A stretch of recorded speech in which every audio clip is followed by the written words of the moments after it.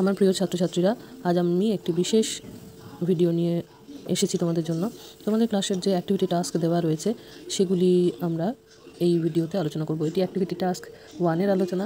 এরপর আমি তোমাদের ধীরে ধীরে টু এবং থ্রি এর আলোচনাও নিয়ে আসব। আমাদের প্রথম প্রশ্ন আছে, সে ঝড় বৃষ্টি রচনাংশে প্রাকৃতিক বিপর্যয়ের ছবি কীভাবে ফুটে উঠেছে?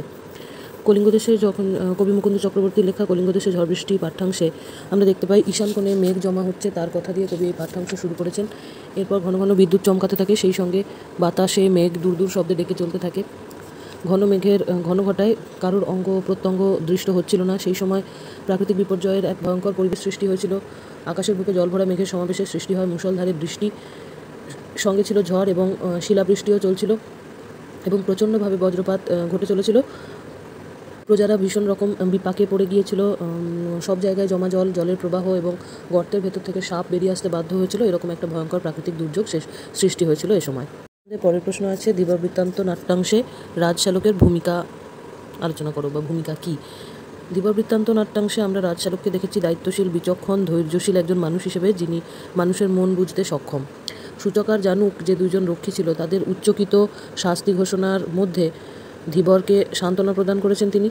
রাজার সঙ্গে কথা বলতে গিয়েছেন এবং রাজার কাছ থেকে যথোচিত সংবাদ নিবেদন করে সঠিক সংবাদটি এনে দিয়েছেন। এভাবে নাট্যদ্বন্দ্বের যে তীব্র উৎকণ্ঠা সৃষ্টি হচ্ছিল, তাকে সঠিক সংবাদ, সঠিক স্থানে জ্ঞাপন করে গড়ের মতো একজন নিরপরাধকে শাস্তির হাত থেকে বাঁচিয়ে তিনি নাটকীয়, নাটকের সমতা ফিরিয়েছেন, এটা আমরা বলতে পারি। এখানেই তার ভূমিকা। পরের প্রশ্ন আছে, ইলিয়াসের জীবনে কীভাবে বিপর্যয় ঘনিয়ে এসেছিল? এটি ঈশ্বরচন্দ্র বিদ্যাসাগরের লেখা ইলিয়াস পাঠ্যাংশ থেকে নেওয়া হয়েছে। ইলিয়াস উফা প্রদেশের মানুষ। দীর্ঘ পঁয়ত্রিশ বছর পরিশ্রম করে সে নিজের জীবনে উন্নতি এনেছিল। সবচেয়ে ধনী ব্যক্তিতে পরিণত হয়েছিল। কিন্তু চিরদিন জীবন সমান যায় না। ইলিয়াসেরও জীবনে নেমে আসে বিপর্যয়। প্রথমে তার ছোট ছেলেকে সম্পত্তির ভাগ দেওয়াতে তার কিছুটা অবস্থার অবস্থান্তর ঘটে। তারপর তার ভেড়ার পালে মরক লাগে। পরের বছর দুর্ভিক্ষ দেখা দেয়। এবং শীতকালে অনেক গরু মস্ত না খেতে পেয়ে তার মারা যায়, কারণ খড় পাওয়া যায় না। কিরবিজরা তার ভালো ঘোড়াগুলি চুরি করে নিয়ে যায়। এই সব কারণে তার অর্থনৈতিক অবস্থার অবনতি ঘটতে থাকে। ফলত তাকে তার যাবতীয় স্থাবর, অস্থাবর জিনিস বিক্রি করে দিতে বাধ্য হতে হয় এবং অচেনা অজানা লোকের বাড়িতে তাকে পরিশ্রম করে নিজের জীবন বাঁচিয়ে রাখতে হয়।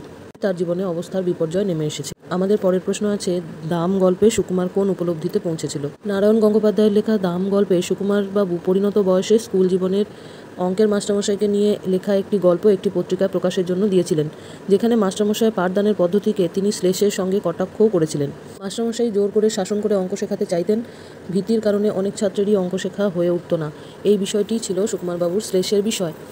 বর্তমানে তিনি একজন অধ্যাপক এবং বিভিন্ন জায়গায় বক্তৃতা দিয়ে বেড়ান, এই বিষয়ে তার যথেষ্ট গর্বও রয়েছে। এই রকমই বক্তৃতা দেবার সূত্রে কোনো এক বাংলাদেশের অজ পাড়াগ্রামে গিয়ে উপস্থিত হলে সেখানে তিনি মাস্টারমশাইয়ের সঙ্গে মুখোমুখি হয়ে পড়েন। মাস্টারমশাইয়ের সঙ্গে কথায় তিনি জানতে পারেন, সে গল্প মাস্টারমশাই পড়েছেন এবং তার জন্য সুকুমারের প্রতি তার কোনো দ্বিধাবোধ বা কোনো অভিযোগ নেই। তিনি মনে করেন, ছাত্ররা সন্তান তুল্য, যদি অপরাধ করেই থাকেন তো সন্তান তা শুধরে দেবে। এই মাস্টারমশাইয়ের এই উপলব্ধি দেখে সুকুমার আত্মগ্লানিতে ছোট হয়ে যায়। তার মনে হতে থাকে যে, যা তিনি মাস্টারমশাইয়ের সঙ্গে করেছেন তা চূড়ান্ত অবিচার, কারণ মাস্টারমশাই স্নেহ, মমতা, ক্ষমার এক মহাসমুদ্র, যাকে কোনো কিছু দিয়েই পরিমাপ করা যায় না। এই উপলব্ধিতেই সুকুমার শেষ পর্যন্ত এসে পৌঁছেছিল। নোংর কবিতায় বাণিজ্য তরী বাঁধা পড়ে থাকার তাৎপর্য বিশ্লেষণ করো। নোংর কবিতায় কবি অজিত দত্ত বলেছেন, তার বাণিজ্য তরী তটের কিনারে নোঙর ফেলেছে, তিনি জানেন না। আসলে এই নোঙর তার অজান্তেই পড়ে গেছে। সংসার জীবনের নানান জটিলতা এবং জীবনের চাহিদায় মানুষের স্বপ্ন, আকাঙ্ক্ষা অধরাই থেকে যায়। তাই যে বাণিজ্য তরী দেশে বিদেশে যাত্রা করে অঢেল বাণিজ্য করার কথা ছিল, অর্থাৎ নিজের স্বপ্ন, আশা, আকাঙ্ক্ষা পূরণ করার কথা ছিল, সেই বাণিজ্য তরী সংসার যাত্রার চাপে পড়ে তটের কিনারে নোঙর ফেলতে বাধ্য হয় এবং নিজের ছোট গণ্ডির মধ্যেই সীমাবদ্ধ থাকে। এখানেই বাণিজ্য তরীর বাঁধা পড়ে আছে কথাটির তাৎপর্য। আমাদের পরের প্রশ্ন আছে স্বরভক্তির অপর নামটি কি? এটি হলো বিপ্রকর্ষ পরের প্রশ্ন আছে, উপসর্গের ভূমিকা কি? উপসর্গ হলো আদ্যপ্রত্যয় এটি অর্থহীন বর্ণ সমষ্টি যা শব্দের আগে বসে নতুন শব্দ গঠনে সাহায্য করে। সেক্ষেত্রে উপসর্গের ভূমিকা হলো নতুন শব্দ তৈরি করা। শেষ প্রশ্ন আছে, উদাহরণসহ অপিনিহিতি বিষয়টি বুঝিয়ে দাও। অপিনিহিতি বলতে বোঝায়, শব্দমধ্যস্থ হর্ষই বা হর্ষৌকারকে নির্দিষ্ট স্থানের পূর্বে উচ্চারণ করে ফেলার যে প্রবণতা, তাকে অপিনিহিতি বলে।